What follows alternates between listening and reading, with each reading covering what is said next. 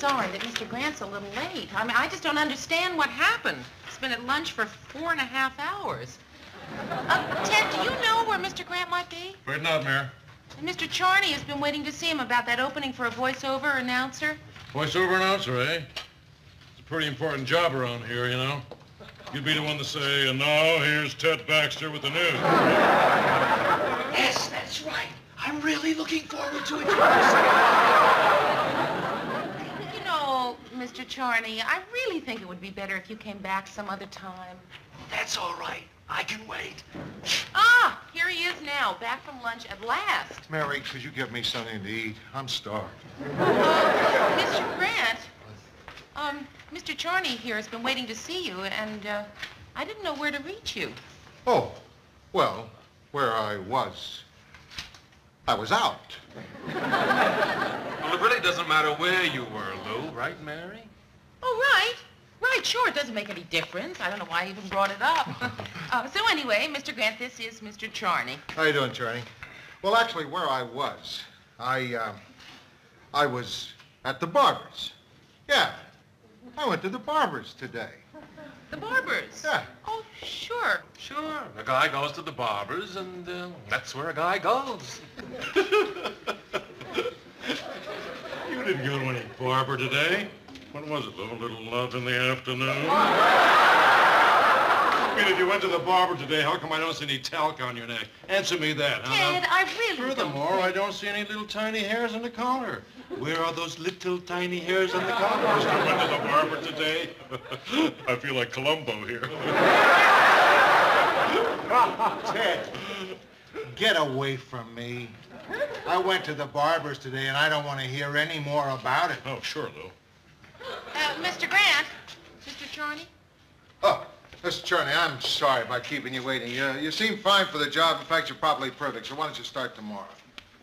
Wonderful. Just wonderful. Thank you. Coming, Mr. Grant. I'm sure his voice will get better. No, I'm not worried about that. Look, Mary, I wasn't at any barber. But it wasn't what Ted thought either. Oh, Mr. Grant, I knew it wasn't. No, if it was that, it wouldn't take four hours. Would you, uh, like to talk about it? Yeah, maybe I have to talk about it. But not to you. Maybe to Murray. Because it's a man-to-man thing. Oh, Mr. Grant, you know that whole theory of man-to-man is just dumb. You and I have confided in each other. I've told you things. You've told me things. No, I never told you anything this big. What difference does it make how big it is? Because you never told me anything this big. no, Mary, to even it up a little, you're going to have to tell me something big. But, Mr. Grant... And it won't work if you're calling me Mr. Grant. Call me Lou. Well, we, uh, would that be for, uh, just for the purpose of this conversation? uh, for, you know, all time? I'll decide later. you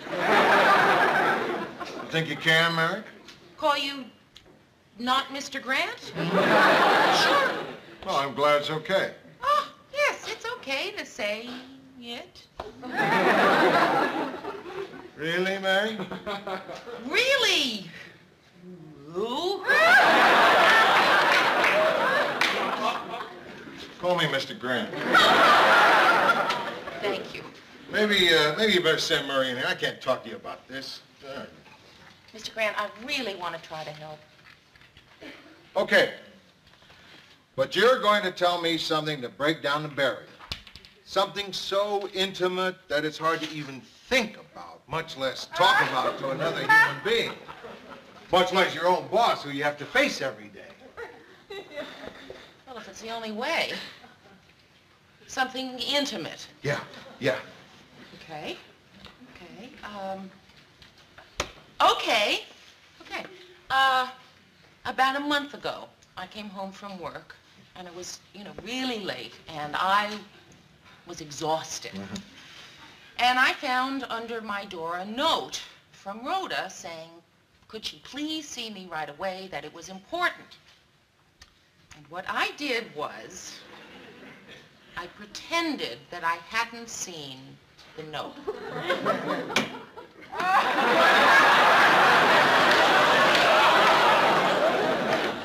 That's nothing what you just said.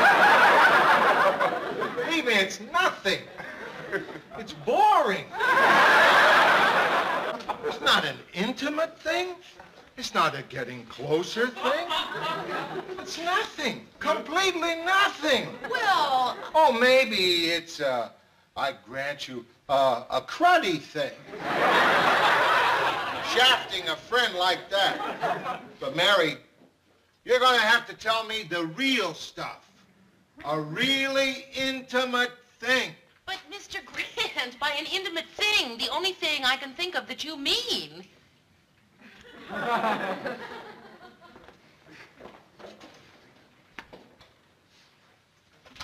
Mr. Grant would like to talk.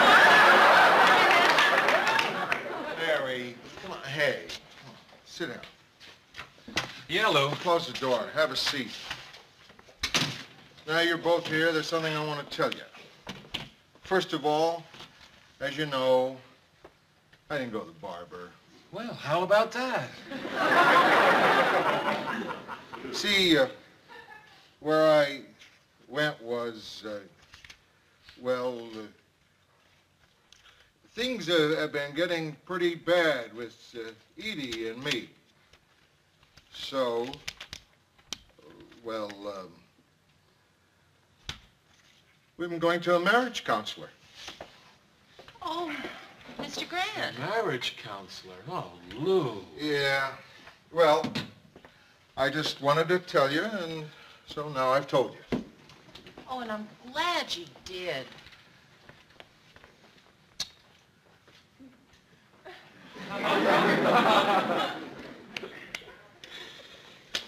Just wanted to get it off my chest. And, and you know, I feel better. Just like they say, just by getting it off my chest and everything. Hey, boy, what a difference. Listen, I, I can't, I can't thank you enough. Thanks, thanks.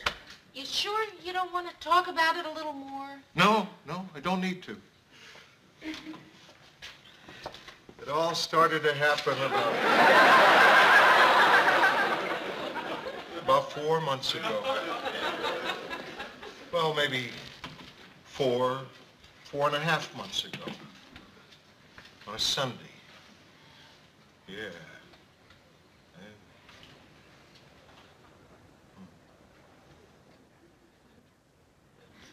Yeah. Listen, I want to thank you again. It really helped. Yeah, it did.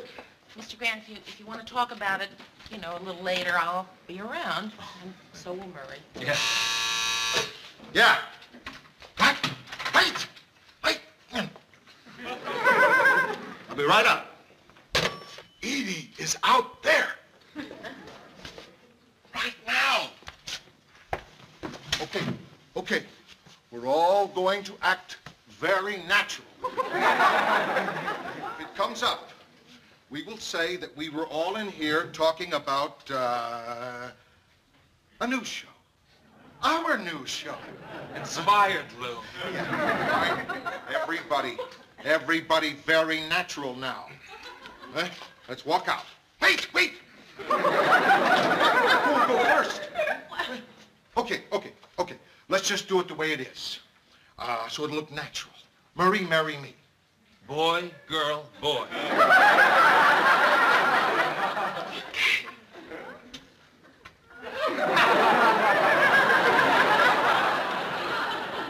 Edie? Hello, Hello. Lou, you lucky bum, you. Edie, if you ever decide to ditch this guy, you know who's waiting in the wings. the old silver fox himself. Okay, Ted. Hi, Edie. Listen, stranger things have happened. You may just decide to kick this bum out. Who needs him? Okay, Ted. That's enough. Remember, Edie, I'll be waiting. Well, if that doesn't keep them together, nothing will.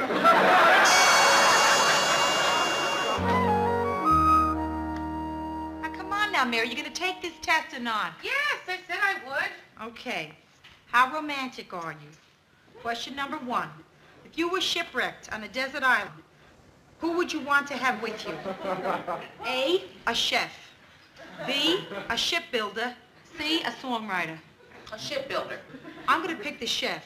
Rhoda, are you going to take this test seriously or not? I am taking the test seriously. If the chef is good enough, people will hear about him and they will come to us. Was that a knock? I don't know. Was it a knock? I couldn't tell. I couldn't tell either. It was a knock. Mr. Grant.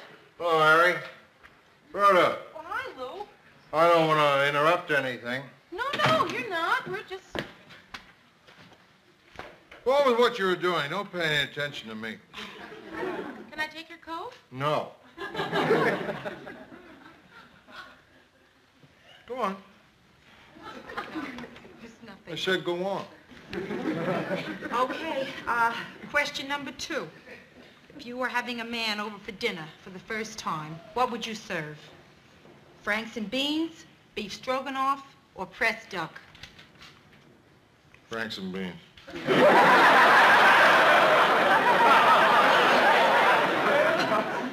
Have you taken this test before? I obviously have had uh, a few drinks. I've got troubles. Are you just going to sit there and do some stupid test? Mr. Grant, you did tell us to... Oh, boy, some life? Oh, Mr. Grant. Some life, huh? Yeah, it sure is. It's some life. Does she know what I mean when I say some life? Well, actually, Lou, uh, Mary here told me a little bit of, about it. Everything. Mr. Grant, I, I know how you respect privacy, you know, but I, I figured that we're all friends here, and there's no reason to keep any secrets. No, no, it's quite all right. We're all friends. We should have no secrets. Rhoda, by the way, Mary was home last month when you left the note under the door. You just pretended she wasn't. Uh, Mary, Rhoda, you ever go to a marriage counselor? Not me. Well, we show up at the marriage counselors around noon. The couple ahead of us is a basketball center and his wife. I know what their problem is. He's two feet taller than she is. that man isn't going to help them. anyway, we sit down in the waiting room, and I say, Edie? And she says, why don't we wait till we get inside? So then we get inside, and she pours out our guts to him for an hour. You know what bothers me? My marriage counselor isn't married. Never has been. And, you know, they want you to tell what's ever on your mind, so I told him it sort of bothered me that he isn't married. And he made a little joke. He said, you don't have to be uh, a whale to write Moby Dick. so that's my life now, Mary. $40 an hour, and he tells me he doesn't have to be a whale. Mr. Grant, these marriage counselors really do get results. Not the one I wanted. Edie's moving out. Mm. Edie's marriage counselor thinks we should try a trial separation. Oh. You know, I was sitting alone, having a few. I thought to myself, what are you sitting here feeling sorry for yourself for? Go get a woman's point of view. Go see Mary. I was even hoping you'd be here, Rhoda. You know what? You were no help at all.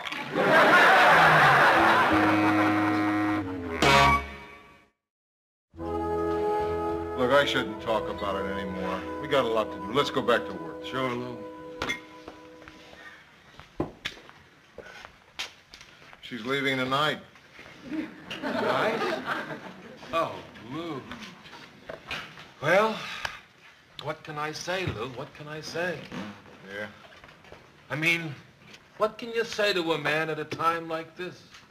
I don't know. There's nothing to say, Lou. Nothing to say. Yeah. Yeah. Well, Lou, I just wanted to say that. Thanks, Murray. Hi, guys. Hi, Ted. Uh, something's happening here. I can tell by your faces. I hate it when everybody knows something and I don't know it. What is it? You want to know everything, Ted? Edie's leaving me tonight, Ted. Okay, now you know everything. Oh, Lou. Lou, Lou, what can I say?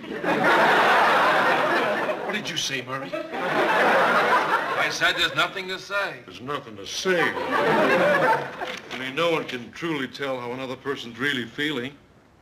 All I'm saying, Lou, is that if you need a pal to talk to, I'll be there. Okay, okay, thanks. Even if it's after hours. Even if if it's in the middle of the night, three, four, five, five thirty. Oh, it's if it's some little thing related to work or something like that. Frankly, that's another story.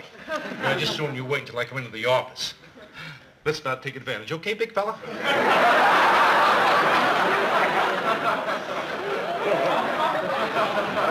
I, I wish I could think of some magic solution for you, some way to work it out.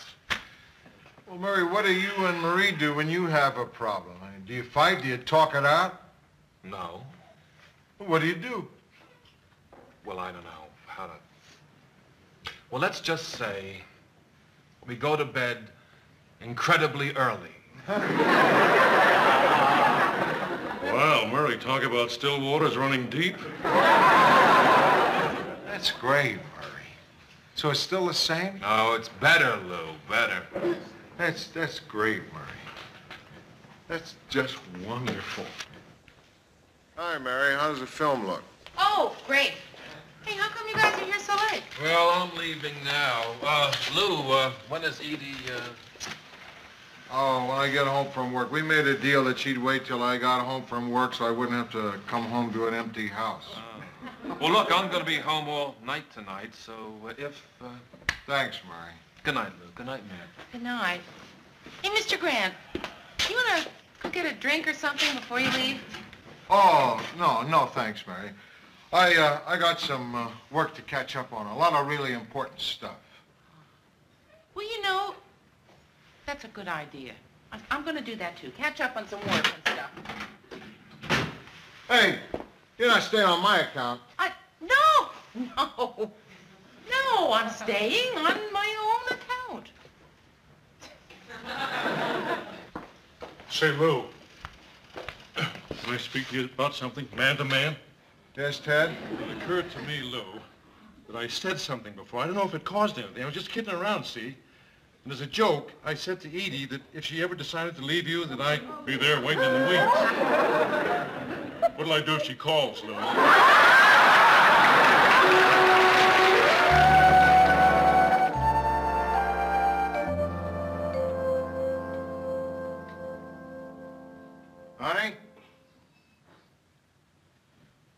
Sorry I'm late, Edie.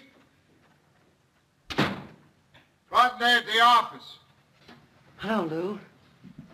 I froze up some dinners for you, Lou. They're in tinfoil in the freezer.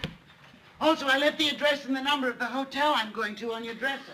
Right, right, right. And when I move to an apartment, I'll send you the new number. Right, right. Oh, and I didn't take that blue suitcase after all. Those little things broke when I tried to fasten it. What little things? Those little things, you know, those things you fasten it with. What do you call it? Those clicky things. They broke. Those clicky things have no business breaking. Lou, And anyway, why isn't there a name for those clicky things in the first place? Why is it necessary for a grown man to have to go around saying words like clicky things? if you're angry at me, just tell me. You don't have to keep going on about the suitcase. Angry at you? Because you're leaving? Oh, come on. I'm not angry at you. It's perfectly understandable. You want to try your little experiment. Why should that make me angry? But you are angry, Lou. Edie, I'm not angry. I'd tell you if I was angry. Why should that make me angry?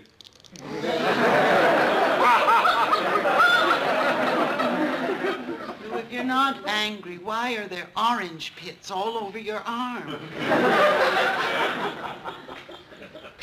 Pits. Damn pits anyway. Why do they make things with pits in the first place? They, they don't serve any purpose. Cherries, watermelons, tangerines, all of them. They can all go to hell. Go to hell, oranges.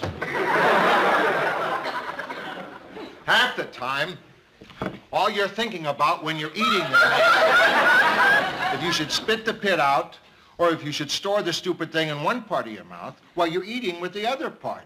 You can't even concentrate on what you're eating half the time. Lou. And even after you finish eating the damn thing, then you have to worry about where you're going to put the pit. Like if you put it in an ashtray, it's disgusting. And ashes get all over it. And it doesn't even look like a fruit anymore. It looks like some furry, gray, dead thing. It gets even more disgusting. How can you leave me, Edie? How can you do it? Lou, it's not you. It's me. I'm 45 years old, Lou. You only go around once, and I want more. You only go around once. That's a beer commercial, Edie. You're telling me you're leaving me for a beer commercial, Edie? No. Edie, you're walking out that door and I still haven't figured out why.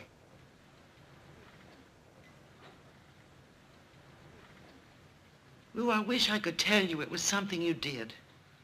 Or something I did. But it isn't that easy. When I married you, I was 19 years old. And I thought you the most wonderful man I ever met. I still think so. But I want to learn more about the rest of me.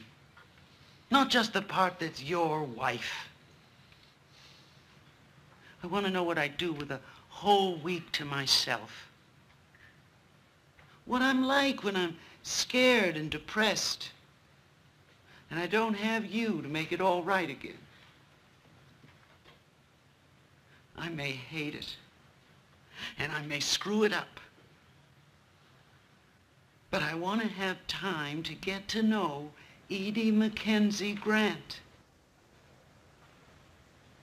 You keeping a grant? I'm keeping the grant. You won't have to get new stationery. Right.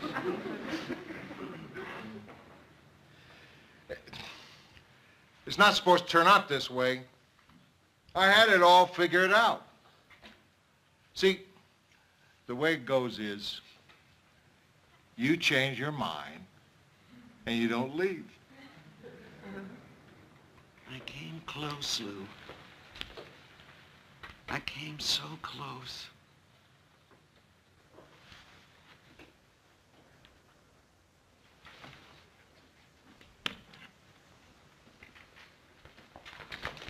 I love you, Edie.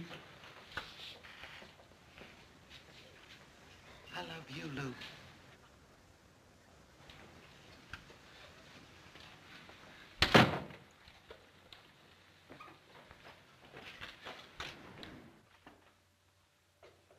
Now listen, Edie. If you plan to come marching back to me, I'm warning you. Take you right back.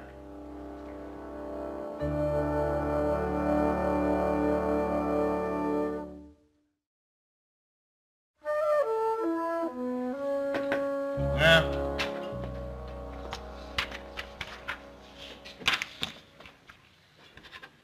So, Mr. Grant, we're all kind of wondering How's it going?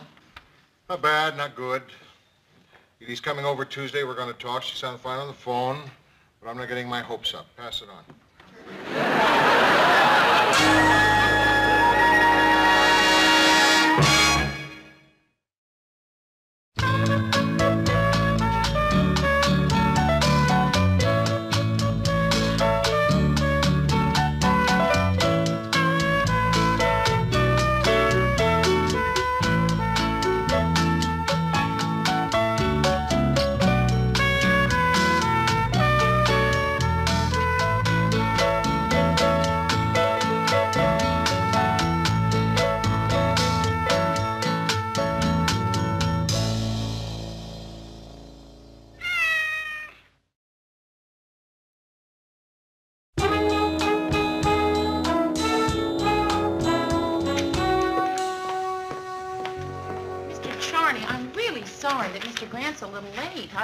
Don't understand what happened. He's been at lunch for four and a half hours.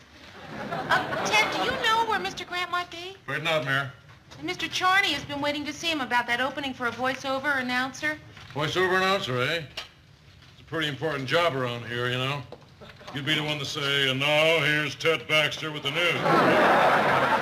Yes, that's right. I'm really looking forward to it. You know, Mr. Charney, I really think it would be better if you came back some other time. That's all right. I can wait. Ah, here he is now, back from lunch at last. Mary, could you get me something to eat? I'm starved. Uh, Mr. Grant, um, Mr. Charney here has been waiting to see you, and uh, I didn't know where to reach you. Oh, well, where I was. I was out. Well, it really doesn't matter where you were, Lou, right, Mary? Oh, right. Right, sure. It doesn't make any difference. I don't know why I even brought it up.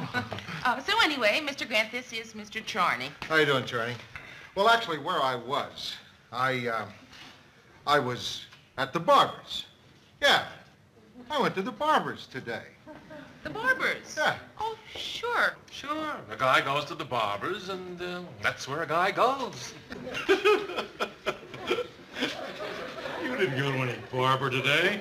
What was it, Lou? A little love in the afternoon? I mean, if you went to the barber today, how come I don't see any talc on your neck? Answer me that, huh? Ted, I really don't Furthermore, I don't see any little tiny hairs on the collar. Where are those little tiny hairs on the collar? Mr. went to the barber today. I feel like Columbo here. Ted, get away from me. I went to the barber's today, and I don't want to hear any more about it. Oh, sure, Lou. Uh, Mr. Grant, Mr. Charney. Oh, Mr. Charney, I'm sorry about keeping you waiting. You, you seem fine for the job. In fact, you're probably perfect. So why don't you start tomorrow? Wonderful. Just wonderful. Thank you. Coming, Mr. Grant. I'm sure his voice will get better. No, I'm not worried about that. Look, Mary, I wasn't at any barber. But it wasn't what Ted thought either. Oh, Mr. Grant, I knew it wasn't. No, if it was that, it wouldn't take four hours. Would you uh, like to talk about it? Yeah, maybe I have to talk about it. But not to you. Maybe to Murray. Because it's a man-to-man thing.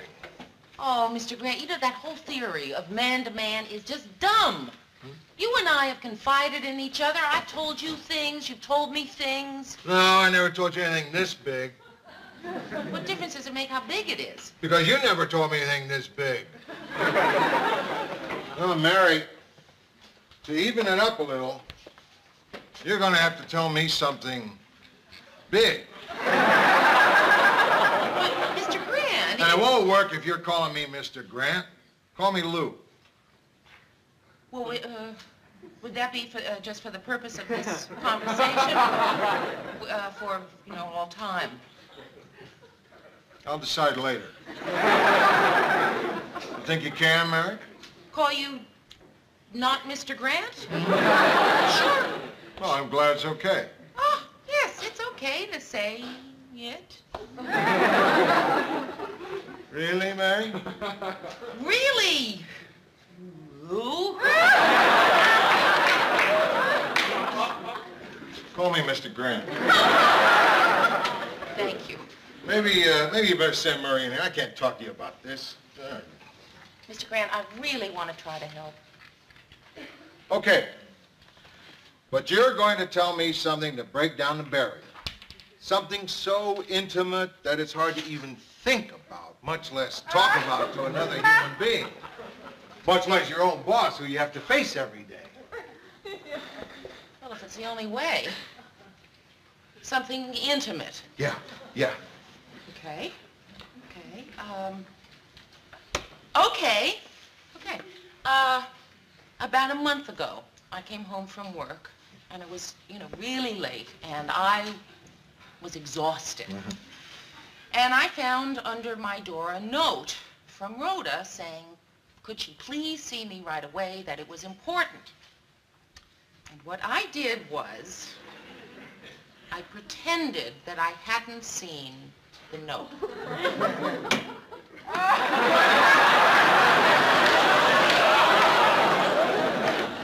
That's nothing what you just said. Me, it's nothing. It's boring. It's not an intimate thing. It's not a getting closer thing. It's nothing. Completely nothing. Well, Oh, maybe it's, uh, I grant you, uh, a cruddy thing. Shafting a friend like that. But Mary, you're gonna have to tell me the real stuff. A really intimate thing. but Mr. Grant, by an intimate thing, the only thing I can think of that you mean. Murray,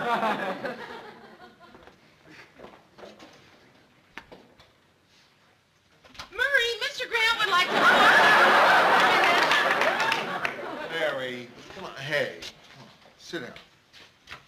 Yeah, Lou. Close the door. Have a seat. Now you're both here, there's something I want to tell you. First of all, as you know, I didn't go to the barber. Well, how about that? See, uh, where I went was, uh, well, uh, things uh, have been getting pretty bad with uh, Edie and me. So, uh, well, um, we've been going to a marriage counselor. Oh, Mr. Grant. Marriage counselor. Oh, Lou. Yeah, well, I just wanted to tell you, and so now I've told you. Oh, and I'm glad you did.